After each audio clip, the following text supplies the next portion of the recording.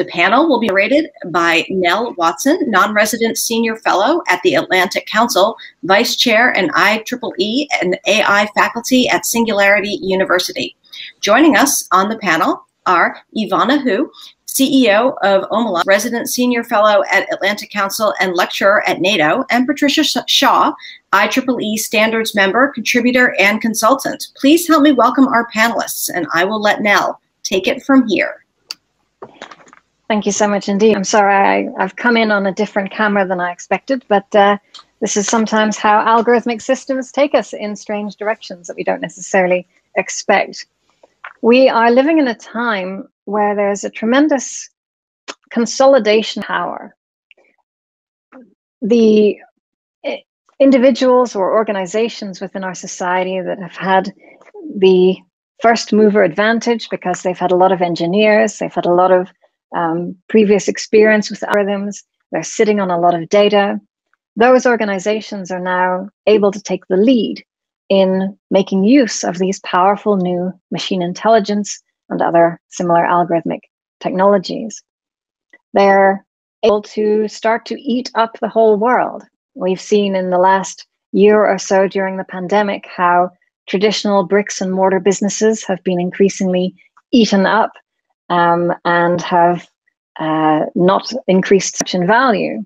But meanwhile, the tech sector has raced ahead, and it seems as if uh, everything now is coming online. Lots of people now are crossing the chasm. Lots of people are entering the digital world as immigrants rather than natives. And now they're trying to understand uh, what this new world means for them and how they can enjoy it the most. But this raises lots of questions. Uh, how can we use these technologies in safe ways, ways that benefit individuals as well as societies at large? And how we balance those kinds of social concerns with the needs to run businesses and generate profit at the end of the day. Thank you so much, Patricia and Evanna, for, for joining us today. I'd like to, to start off then with considering about in an ideal world, what might a safe, just application of AI technologies look like? What kinds of qualities or ingredients might it possess?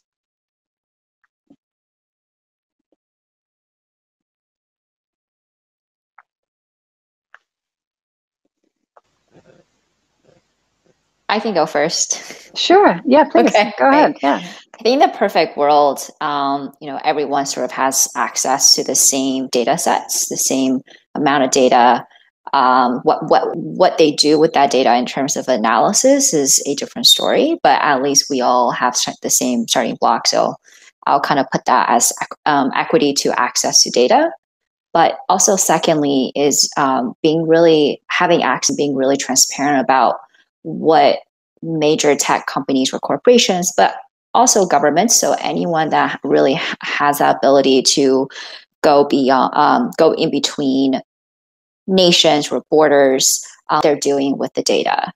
Um, and then I think third is how do we actually empower sort of the next generation, right? So making sure that people are also educated um, to around the similar level of what AI is um, and what the and what the future of AI, including ethics, is. Great points. Oh, that's fantastic to start with. Thank you, Evanna. Um, from my perspective, it would be um, I'd be thinking more about the outcomes and um, I'd want to see equity of outcomes um, for everybody. That doesn't necessarily mean always equality.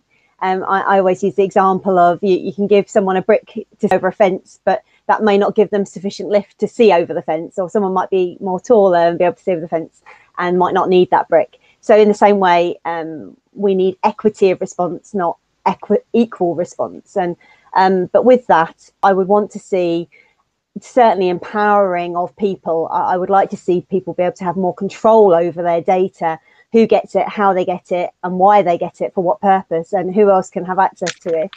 Um, and I, I see a time of data dashboards coming forward, um, not in the sense of data ownership, but certainly data control. Um, and then in that empowering idea as well, to Evanna's point, much more awareness needs to be had about what algorithmic intelligence systems do with uh, how this impacts people's lives. Um, and with that, that's not just awareness, that's understanding, really having some proper counterfactual analysis to understand what does um, this AIS system and this set of data do for me and my family or my people group in scenario A, B, C, and D. And, and then finally, I think the final nugget of empowering, and maybe it's my legal background that does this, is the redress. I, I want to, you know, things aren't ever perfect, that things can go wrong. People are, well, even when they're their best and put appropriate governance structures in place to do ex ante risk management, um, things can go wrong. So we need to be able to see a time not only with personal data, but non personal data, where real life impacts can happen on people's lives, uh, people groups, and also wider society, particularly where, where bias is concerned. So, in many ways, what I'm hearing from from both of you is that understanding where data comes from, how it's being processed, flow of that, and also presenting that information in a way which is digestible, right? So that people can understand, they can educate themselves, let alone necessarily being educated uh, in a formal manner. But you know, if they're interested, they can dig into this information and um, and be better empowered to understand what these systems are doing with their data and why that matters to them. And I think, um, Trish, you mentioned about being able to make selections on what kinds of data one is willing to share, or perhaps what kinds of quid pro quo uh, arrangements might come into that. We've seen the beginnings of that, that or, or similar um, philosophies, I suppose, in that direction with the advent of uh, GDPR a few years ago. Do you think that there's likely to be an expansion of that? That instead of simply saying, you know, do you accept our our, our cookies or whatever, that we're likely to see uh, more of an uh, granular approach to, you know, opt into specific things or opting out of specific things, or um, presenting users with options of what they can get in exchange for sharing some of that data. All very interesting and uh, delves into a variety of different angles around privacy as well. I will start with the kind of um, the legislative kind of GDPR angle. Um, I very much see a time coming of a GDPR plus. Um, uh, the, the, European Union and the UK potentially in following um, aren't alone in thinking about the need to consider beyond personal data and that um, non-personal data also has impacts on how um, decisions are made for us, to us, and about us. And I, um, where we've seen some of these kind of more nascent discussions about non uh, non-personal data being controlled or used or having selections around it is, um, for example, in India at the moment, there's some legislation going through. Not only are they bringing about their first kind of personal protection um, legislative piece of an act, but they're also bringing a non-personal data act through as well because of some of these constraints. There is also an element of um, national control and national, um, uh, shall I say, localization of data being had there, and that has other economic and social impacts um, which I won't go into just quite right now. But there, there are we are seeing trends with this this need to not only see the impacts of personal data but also non-personal data. So I can see GDPR being expanded on in in that regard. Um, with respect to kind of quid pro quo and the privacy piece, um, we we aren't settled yet. I don't believe that there are we are in a bit of a polarized world right now as to whether or not privacy has completely died a death and gone in a ditch and everyone's happy to um, have all their information out in the open or indeed predicted or uh, detected about them um, versus that should be something that we we are able to select. We should be able to be able to govern. We should be able to have some element of control over like i said in terms of the dashboards. Um, i think one thing is for sure from my perspective um, I, I, certainly don't believe that privacy is dead. I, I think we we would be very um, it would be wrong of us to assume that through people's lack of wanting of friction in a commercial process that they are not having regard or due regard to what data is being gathered about them for automated intelligence systems to make decisions about them. I think that that would be a, a great misnomer mis- and mis- misregard to do. Um, I think in terms of privacy itself and the concepts of that. My, my real concern is if we start to go down a line of creating certain services where you opt in to bring all your to the table and certain services where you you can say I will not share my data, but I will pay for you to run this service in lieu of me giving you all my data. We could end up in with economies around the world with a real privacy poverty, uh, and that people will have a premium for keeping their privacy. So that, that's just my thoughts on that. Passing over to Ivan. Um, I think you raised some uh, really good points. My, uh, you know, in the in the U.S. here too. So California has their their own version of privacy, um, GDPR, if you will, and it's stricter than the rest of the country. But at a federal level, uh, while there has been conversations around around that for the past two three years, um, we haven't really seen much get passed. Definitely, would it's going to change under the current administration. But I think it's not my concern is that um, with that localization is that like data doesn't just stay within borders right? Because these are artificial at the end of the day.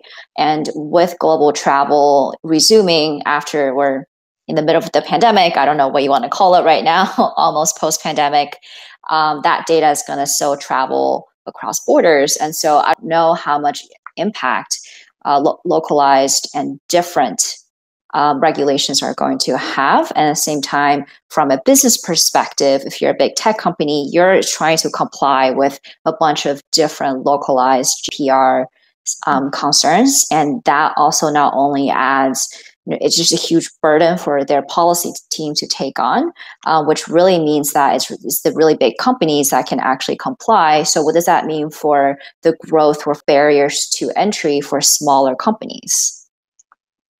That's a great point, um, Evanna. Often, as you say, these kinds of regulations can end up being quietly welcomed by the big tech companies because they become kind of a moat that the smaller yes. companies yeah. find it very difficult to deal with. Mm-hmm.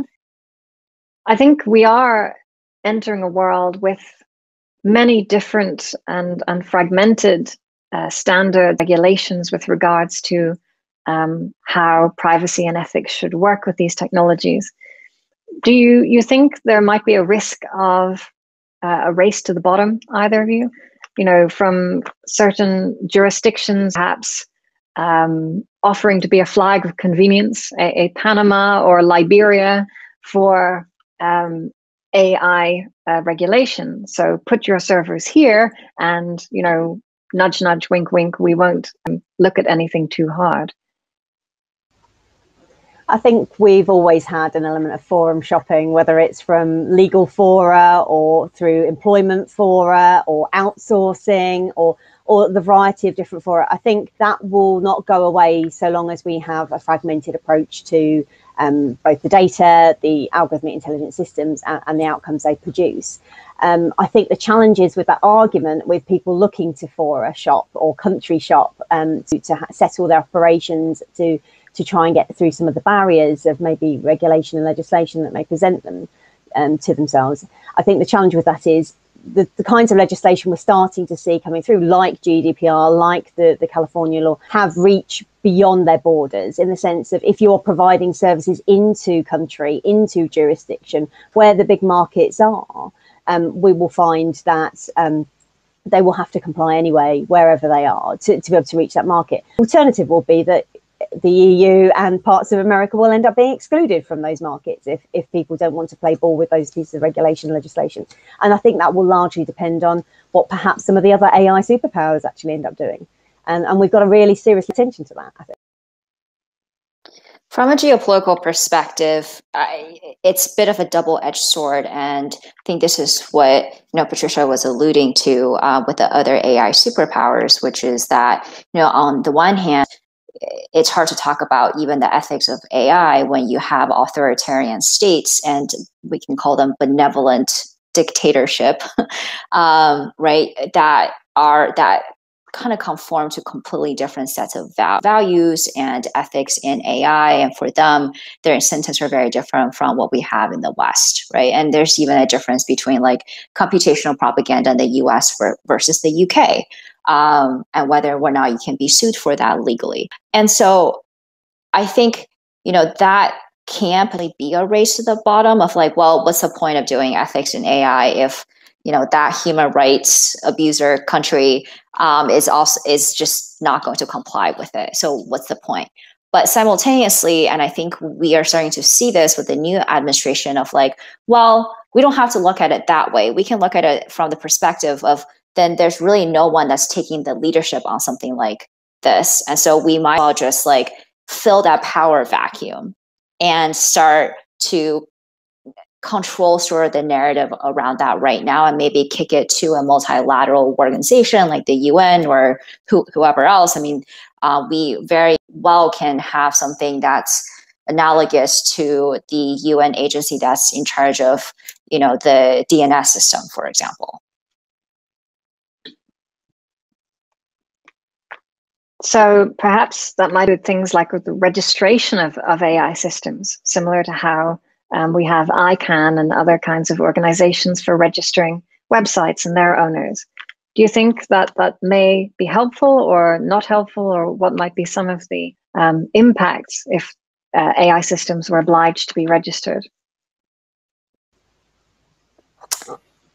Yeah, go go for it. I, I, think uh, there's two things. One, I, I immediately see honeypot for hackers, but if it was really stored somewhere, that that that would most definitely be even even with an escrow agent. Actually, I think it would be really really challenging. Um, you could have as many walls as you like. I think that they would they would really struggle mm-hmm. for security. But um, on the side of, I think the pace of change of the AI systems is, is, just so astronomical. I think even a registry, a registrar of such organisation, it's not a static concept for them to kind of hold a domain name. You know, it, it's registered for a year, sometimes two years in and loop cycles. You know, it, it's quite static. Whereas actually, when we're talking about AI or more pertinently machine learning, what it we might have the algorithmic intelligence system that can sit there, but actually the outputs it's generating is highly dependent on the data and whether or not that it, with that to it is supervised or unsupervised learning that it then manifests itself in. So I think the real challenge is even though we might have a registry, we might not necessarily fully grasp its impacts or outcomes, outputs and outcomes as a result. So um, I like the concept. I'm not sure it's wholly possible. I agree. I think maybe a more short term uh, or shorter term um, interim solution could just be that um, it's somehow tied to the IP database, like, like patents, right? So um, a lot of people apply, and obviously there are a lot of trade secrets out there, but um, you can almost say like, hey, like this is what I'm trying to register, and this is you know like the name of the system, and this is the like the IP or the patents behind it or something think the we have with that again is that you know not all jurisdictions recognise yeah. that level of um, IP rights. You know, so not everyone will go for a patent. It can be quite a laborious process, very costly. Again, though the smaller uh, SME yeah. businesses may well be costed out of that market, and so how do they afford then those protections? So, great observations. Do you think um, there could be a role for um, blockchain style technologies in in creating such kinds of registries potentially? I am not a blockchain person. so Okay. Well, I mean distributed ledger technologies can enable people to uh, to register things or to prove that they existed in a certain form at a certain time, or to prove ownership of something without necessarily declaring uh, all of the specifics of what they own. So you can, in fact, retain a little bit of plausible deniability through some cryptographic technologies such as zero knowledge proofs. But um, in some places in the world, I believe uh, Honduras and some other countries, they're using blockchain based land registry systems, which is um, far less corruptible than um, perhaps your local mayor deciding to rip up the deed to your farm and it being very difficult to prove that that's actually your property. So perhaps as, as these technologies begin to uh, mature further, there might be opportunities in bringing together AI and crypto. Because AI is very stochastic, it's very random, often these kinds of black algorithms. But the world of crypto tends to be very deterministic. And I think perhaps bringing those two worlds together would create something more than the sum of its parts. And I observe that at the moment, a lot of AI technologies um, are difficult for people to trust. And I think we're at a similar stage to where e commerce was in the mid to late 90s, when you had to give your credit card details out in plain text uh, and over an unsecured connection, something we would never do today. Um, but until we had developed things like secure socket layer technology uh, or other kinds of systems like PayPal, we didn't really have an alternative. And I think once those new kinds of security technologies for AI start to come out, then we'll see a much wider adoption of the technologies, um, and they will hopefully be able to be a little bit more trustworthy.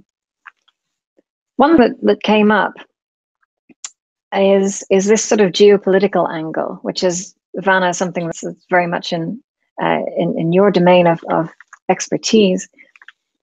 Do you think that we are at risk of a kind of an AI race, if if not like a, like a space race, but for AI? I think um, we're already there. I'm sorry. I think we're already there. We're already there. We're already in the middle of the AI race, and I think, um, you know, if we so there's like in in the US, we look at it, and China also, if you look at their budget and what came out of their new five year plan, is essentially looking at basic R and D versus applied R and D um, when it comes to AI. And China is trying to pour a lot of money into both, but especially basic as well. Um, and so there's been a call in the U.S. to do that, and I. Um, and if you think, I think if you ask anybody really off the record here, in DC, you know, who has who is leading the race right now, I think people will actually say China is starting to get there. Um, and that is quite concerning because along with that is the ethics piece. I'm not really sure that we want China to be also leading that conversation for the rest of the world.